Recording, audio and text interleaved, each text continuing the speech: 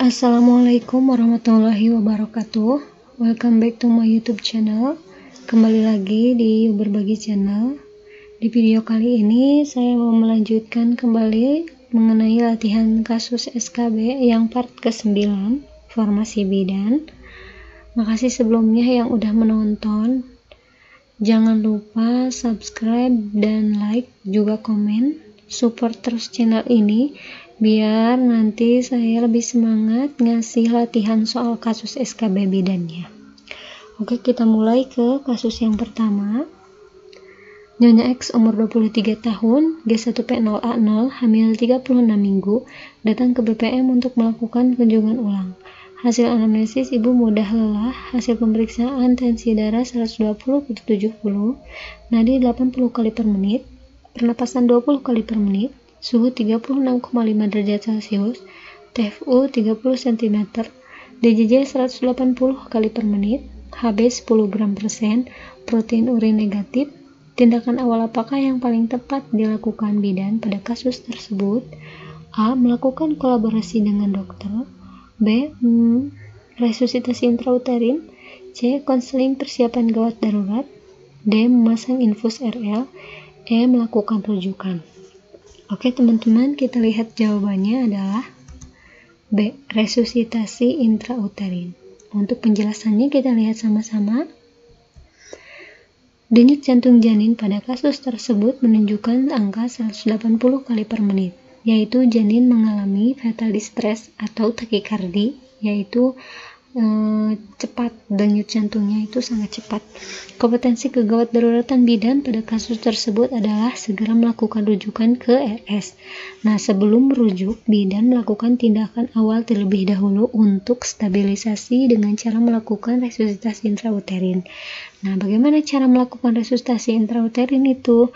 Yang pertama, memastikan ibu mendapat pasokan oksigen yang cukup. Jadi, ibunya harus dikasih oksigen kemudian juga memastikan asupan cairan memadai, berikan pemasangan infus untuk ibu, lalu mengubah posisi ibu dengan memintanya berbaring ke sisi kiri. Jadi agar oksigennya itu lebih lancar ke janinnya. Udah jelas ya teman-teman, kita lanjut ke soal yang selanjutnya. Nyonya Y umur 24 tahun, G1P0A0, usia kehamilan 38 minggu, datang ke BPM dengan keluhan sakit perut sejak 2 jam yang lalu. Hasil anamnesis sering pusing sejak satu bulan yang lalu.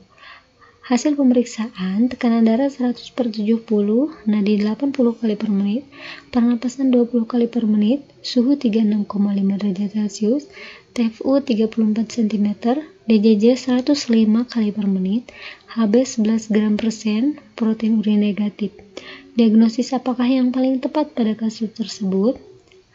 A. Hipotensi B. Suspek janin besar C. Kehamilan normal D. Anemia ringan atau E. Gawat janin Oke kita lihat jawabannya adalah E. Gawat janin Diagnosis gawat janin atau fetal distress ditegakkan bila ditemukan gejala klinis seperti mekonium kental berwarna hijau terdapat di cairan ketuban atau letak kepala.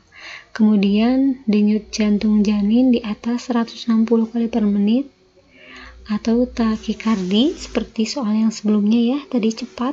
Kemudian juga di bawah 100 kali per menit denyut jantung tidak teratur atau bradikardi. Ya, jadi karena di soal ini denyut jantungnya 105 berarti kurang dari normal, maka ini disebut dengan fetal distress atau gawat janin. Oke. Soal selanjutnya, Nyonya D umur 20 tahun, G1P0A0, Hamil 36 minggu, datang ke klinik bidan dengan nyeri perut sejak satu jam yang lalu. Hasil anamnesis, ibu mengatakan sering pusing sejak satu bulan yang lalu. Hasil pemeriksaan, tekanan darah 100 per 70, nadi 80 kali per menit, pernapasan 20 kali per menit, suhu 36,5 derajat Celcius, TFU 34 cm, DJJ 100 kali per menit, HB 10 gram persen, protein urin negatif, Bidan memberikan oksigen pada ibu dan merujuk ibu ke RS ke Ponik. Evaluasi segera apakah yang harus dilakukan pada kasus tersebut? A. Pola denyut jantung janin B. Perkembangan keluhan pusing ibu C. Perubahan frekuensi nadi ibu D. Perubahan tekanan darah ibu atau E. Hasil laboratorium darah kita lihat jawabannya yaitu A. Pola denyut jantung janin untuk penjelasannya pada kasus tersebut, dari seluruh komponen indikator hasil anamnesis dan hasil pemeriksaan fisik di, diketemukan beberapa kondisi yang membutuhkan pemantauan yaitu ibu keluhan sering pusing, kemudian hipotensi, tekanan darahnya 100 kali per menit rendah ya. Kemudian denyut jantung menunjukkan pola mengarah pada bradikardi, yaitu 100 kali per menit. Oh, maaf tadi ya sama 100 tekanan darah 100, kemudian juga uh, denyut jantung janinnya juga 100 kali per menit mengarah kepada bradikardi. Kemudian kadar HB ibu juga di bawah normal. Karena kan kalau normal itu hmm, 11 ya berarti ini 10 berarti ini udah termasuk ke anemia ringan jadi yang harus dipantaunya adalah pola denyut jantung janin selama merujuk ya. Oke kita lanjut.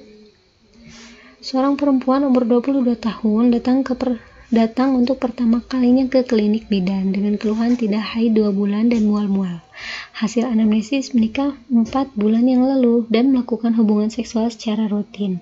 Hasil pemeriksaan yang didapatkan tekanan darah 120 per 80, nadi 80 kali per menit, pernapasan 20 kali per menit, TFU belum teraba, kemudian hasil pemeriksaan penunjang HCG urin positif. Fokus tujuan apakah yang dilakukan oleh bidan pada kasus tersebut? A. Memastikan kehamilan ibu. B pencegahan emesis gravidarum, C. Adapun penerima adaptasi penerimaan kehamilan, D. Membangun hubungan baik, atau E. Deteksi dini kelainan latak. Oke, kita jawab. Kita lihat jawabannya adalah D. Membangun hubungan baik. Jadi fokus kunjungan awal pada pemeriksaan kehamilan adalah untuk membangun hubungan bidan dan komunikasi yang baik dengan klien. Karena tadi kan pada kasusnya ibu mengatakan datang pertama kali dan juga um, dengan keluhan tidak hidup bulan dan mual-mual. Kemudian bidan melakukan pemeriksaan hasil urin positif jadi ibunya positif hamil lalu hal yang pertama dilakukan adalah membangun hubungan baik antara bidan dengan klien. Oke, kita soal yang selanjutnya. Seorang perempuan umur 23 tahun, G1P0A0, hamil 24 minggu datang ke BPM untuk melakukan kunjungan ulang. Hasil anamnesis, ibu sering merasa lelah dan mudah mengantuk.